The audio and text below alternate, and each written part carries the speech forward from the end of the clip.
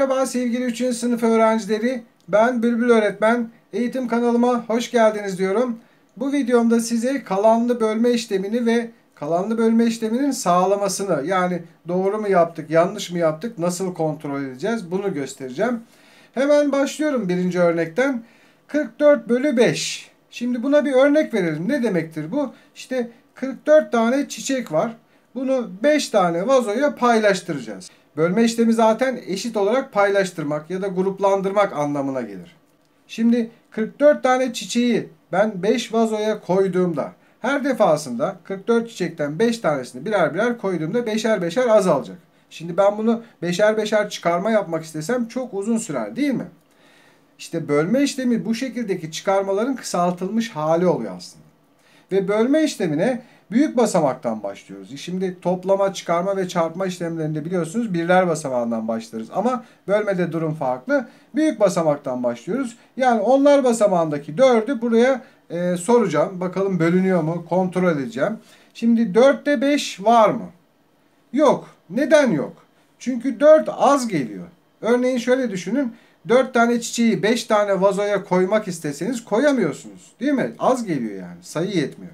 O zaman az geliyorsa ikisini beraber soracağız. 44'te 5 var mı? Tabii ki var. Bunu da şöyle kaç defa olduğunu bulabilirsiniz.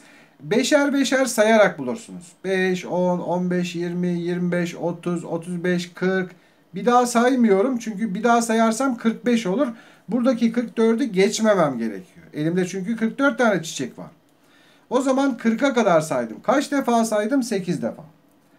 O zaman buraya cevap olarak 8 yazıyorum. Her defasında bu şekilde saymak istemiyorsanız çarpım tablosu dediğimiz tabloyu da ezberleyebilirsiniz. 44'te 5 kaç kere var bir düşünürüm. 8 kere 5 40 ediyor. Hemen hatırlarım çarpım tablosundan. Böylece hemen kolayca bulmuş olurum. Neyse devam edelim. Şimdi 8 defa saydığımda ne oldu? 40 oldu değil mi? O zaman çıkarıyorum. Niye çıkarıyorum? Çünkü 40 tane çiçeği koydum vazolara. Bakalım kalan var mı? Bunu göreceğim. Evet 4'ten 0 çıktı 4. 4'ten 4 çıktı 0. Bakın 4 tane çiçek kaldı. İşte böyle bölmelere biz kalanlı bölme diyoruz. Peki bu 4 tane çiçeği tekrar 5 vazoya koyabilir miyim? Koyamam. O yüzden kaldı zaten. Çiçeklerin sayısı yetmiyor artık. Ne oldu? Her vazoya 8 tane çiçek düştü. Bir şey daha söylemek istiyorum. Buradaki kalan sayı her zaman şuradaki bölen sayı dediğimiz yani 5'in olduğu yerden küçük olmak zorunda. Yani burada 5 ile aynı sayı kalıyorsa, kalmışsa bölmede yanlışlık var demektir. Ya da 5'ten büyük bir sayı varsa 6, 7, 8 olmaz. Bölme yanlış oldu demektir. Ama bakın burada az değil mi? Yani 5'ten az. İşte bu şekilde kalanın buradaki bölenden az olması lazım. Devam edelim. İkinci alıştırmamız. 6'da 3 var mı? Var. Bu kez bölebiliyorum. Kaç defa var? 3, 6. 2 defa var. Ve 2 defa saydığımda 6 oldu değil mi? Çıkarıyorum. Niye çıkarıyorum? Az önce söylemiştim. Kalan var mı bakalım? Ona bakacağım. 6'dan 6 çıktı 0. Bakın şu anda kalan yok. Fakat bölme bitmedi daha. Niye? Diğer basamağı sormadım. Şimdi bu diğer basamaktakini aşağı indiriyorum. Neden aşağı indiriyorum? Çünkü ben buradan e, çıkarma işlemini yaptım. Alt kata indim. Yanıma çağırıyorum yani. Getirdim. Şimdi bu 5'i 3'e soruyorum. Var mı? Evet bölebilirim. 3 bir defa sayabiliyorum. Bir daha saysam 6 olacak. Fazla gelecek. O zaman bir defa diyorum. 1 kere 3 3. 5'ten 3 çıktı 2. Şimdi bir şey daha söyleyeceğim. Buradaki 2'yi tekrar bu 3'e sormuyoruz. Çünkü zaten bu basamağı sorduk. Bu 2 çıkarma işleminden geldi. O yüzden tekrar sormamıza gerek yok. Yani burada tekrar sorup başka şeyler yazmamız gerekmiyor. Burada bölmemiz bitmiş oldu. Bakın yine kalan sayı buradaki 3'ten az oldu fark ettiyseniz. Devam edelim. 5'te 7 yok. O zaman ikisini beraber soruyorum. 52'de 7 kaç tane var? Hemen çarpım tablosunu hatırladım. 7 kere 7 49. 7 kere 8 56 fazla geliyor. O zaman buraya 7 yazacağım. Eğer çarpım tablosunu ezberlemediysem o zaman 7'şer 7'şer sayacağım. Sayarken isterseniz kenara yazabilirsiniz bu şekilde. 7, 14, 21, 28, 35, 7'şer 7'şer gidersiniz yani. 42, 49 ve burada duruyorum. Başka saymıyorum çünkü 52'yi geçmemem lazım. Bakın 7 defa saymışım. O zaman cevap 7 oluyor. 7 defa saydığımızda 7 kere 7 49 oldu değil mi? Hemen çıkarıyorum. Bakalım ne kaldı? 3 kaldı. İşte bölme işlemi bitti. Kalan 3 oldu. Bakın yine 7'den az. 87'yi 8'e bölelim. 8'de 8 var mı? Evet var. Bir defa var. Bir kere 8, 8 diyorum. Çıkarıyorum. Kalan 0 şu anda. Yapmadığım bir basamak daha var. 7'yi sormadım henüz. Onu aşağı indiriyorum. 7'de 8 var mı? Soruyorum. Yok. Bölemedim. O zaman 7'de 8 yoksa matematikte yok demek 0 demek yani. Buraya 0 koymayı unutmayın. E, öğretmenim az önce bu 4'ü sormadık. Bunu da sormadık. Demiştim ya hani bu zaten sorulmuştu bu basamak. Bu çıkarma işleminden gelmişti. Bunu tekrar sormuyoruz.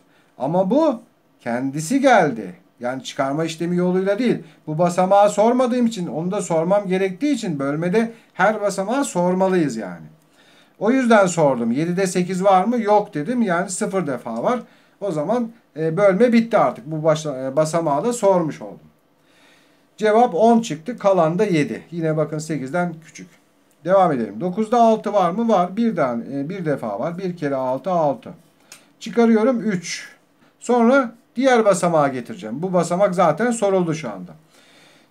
Diğer basamağa getirdim. Ne oldu şimdi? 37 oldu. Yani buradaki kalanlarla beraber birleşti şimdi.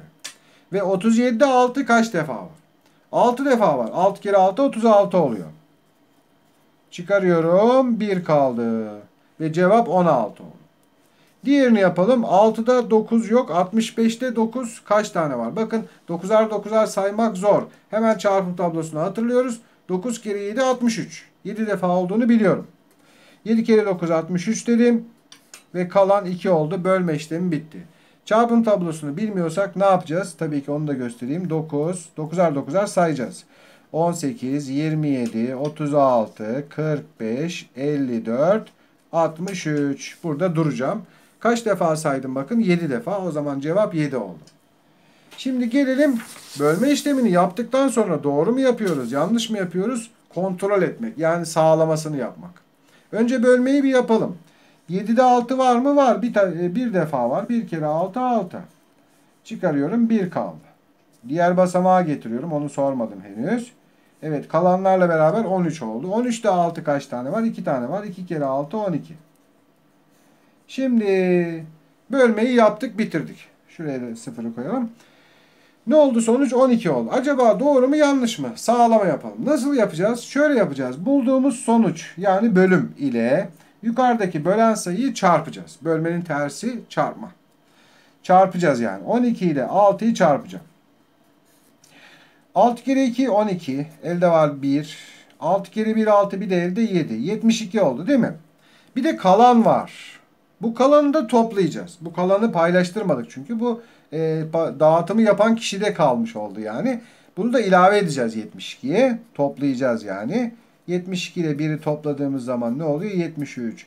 Ve sonuç bulduğumuz sayı eğer şuradaki bölünen sayıyla aynıysa işte bölme doğru yaptık demektir. Kontrol ettik. Evet aynı çıktı. Ve bölmemiz doğruymuş. Sağlaması da böyle oluyor. Bir tane daha örnek yapalım. 7'de 9 var mı? Yok. 74'te 9 kaç tane olabilir? 8 tane olabilir. 8 kere 9 72. Çarpım tablosunu hatırladım. Ve bakalım kalan var mı? Var. Evet. Cevap 8 oldu. Burası 9 oldu. Yani yukarısı 9. Ne yapıyorduk? Bunları 8 ile 9'u çarpıyorduk. 72. 2 de elde vardı. Onu da toplayalım. Bakın ne oldu? 74. Evet. Bölünen sayıyla bu aynıymış. Bölmemiz doğruymuş yani. Bu şekilde anlamış olduk.